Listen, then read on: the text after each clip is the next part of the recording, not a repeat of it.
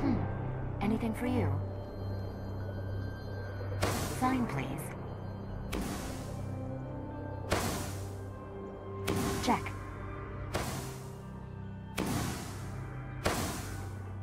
Confirmed.